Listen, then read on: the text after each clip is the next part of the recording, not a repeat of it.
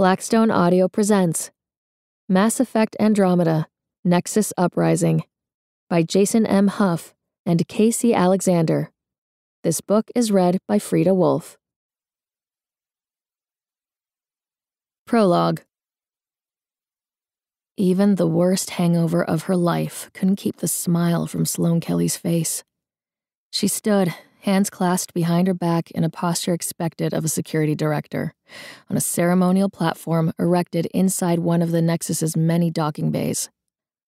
Up until yesterday, the bay had been full of ships, each bustling with people and equipment, workers and staff. As the last minute preparations were made, Sloane held one last briefing with her security officers, drilling down the procedures they'd all prepped for until she was confident they could enact them in their sleep. An unnecessary test, Sloane knew. She'd worked damn hard to ensure her people were up to the ironclad standards of the initiative, and they didn't disappoint.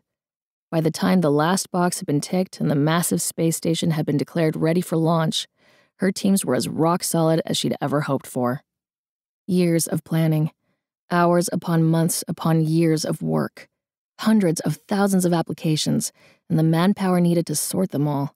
Sloane had never seen the like, and all that focus and drive had been poured into one thing the Nexus. Smaller than the Citadel, but more advanced and streamlined than anyone had ever thought possible.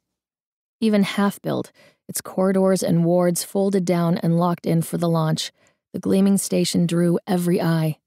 Once they arrived in Andromeda, construction would begin again, turning all the stripped down parts of the Nexus into flourishing districts and functional docks. But before all that, the Andromeda Initiative had to get underway. So here she was, standing on this platform with a smile she couldn't shake and a hangover throbbing behind her forehead. The pain of that indulgence was real enough. This wasn't some kind of dream. This was a goddamn miracle. And she was its security director, standing here with only one ship in the bay. The cavernous interior caused an enormous feedback echo she wasn't used to, turning whispers into shouts and words into a distorted wave. As soon as everyone had said their goodbyes, the Hyperion would leave, carrying with it the human Pathfinder and his crew. Jien Garson, founder of the Andromeda Initiative and awe inspiring in her own right, stood a step in front of Sloane. She hugged Alec Ryder as if they were old friends, as she had with the other Pathfinders just before their ships had gone. Side by side with Ryder, Garson looked laughably diminutive, with the top of her head just barely reaching the man's shoulder. Even Sloane stood taller, though that did nothing to alter Garson's larger than life presence. The two separated slightly, still clasping each other's arms, and exchanged final good wishes. Sloane couldn't hear them clearly over the echoes, but she could read their faces. Garson, all hope and excitement. Ryder, less so. That was just his way. She'd never taken his aloofness to heart. Funny to see them now, acting so professional and diplomatic. All business, unlike the previous night's farewell party. Thousands of pioneers, plus twice as many more of their friends and family, had all gathered for one final hurrah before the mission began. The last night of 2185 AD. For those joining the Andromeda Initiative, it was the last night they would spend in the Milky Way.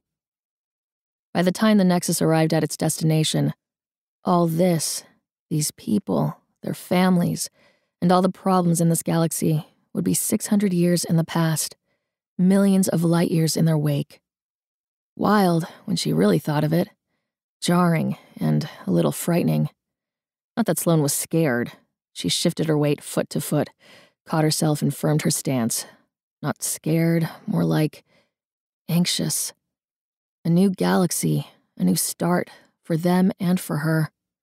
And as security director, Sloane would have far more influence than the grunt she used to be.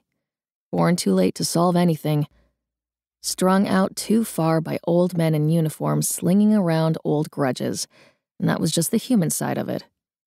This time, she thought, things will be different. Decisions would be made better. No more battle lines drawn between species, no more old vendettas, greedy piracy, no more Skyllian blitzes. This time, they had a chance to do things right, starting with a station full of hand-picked pioneers eager for the same dream. Sloane wasn't alone. All of the pioneers had signed up with a hope for something different. We hope you enjoyed this preview. To continue listening to this audiobook on Google Play Books, use the link in the video description.